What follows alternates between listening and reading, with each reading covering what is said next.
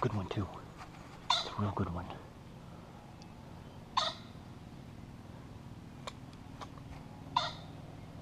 I knew he was there because I heard him in there about five minutes ago.